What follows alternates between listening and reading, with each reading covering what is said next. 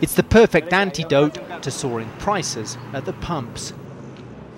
Dirt cheap Venezuelan gasoline smuggled over the border into Colombia and sold at cut price.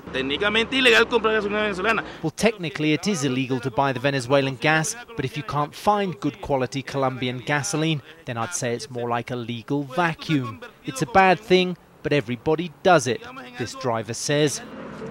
Colombian Victor Valencia says he was studying to be a Catholic priest, but switched to selling contraband gas to help feed his mother and brothers.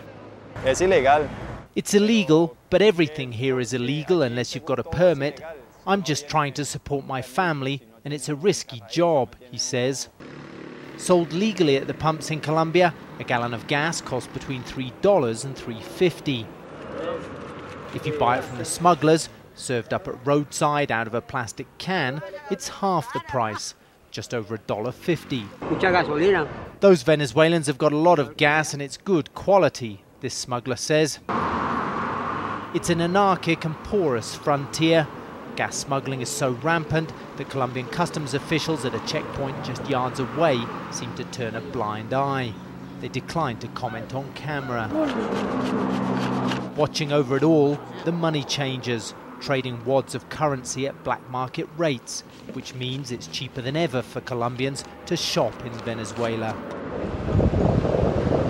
The gas smuggling chain starts a few hundred yards away across the border. At official exchange rates, a gallon of gasoline in Venezuela will cost you 14 cents. If you change your cash on the black market, that same gallon will cost you just 7 cents. That means you can fill up an average family sized car for the price of this bottle of Coca Cola.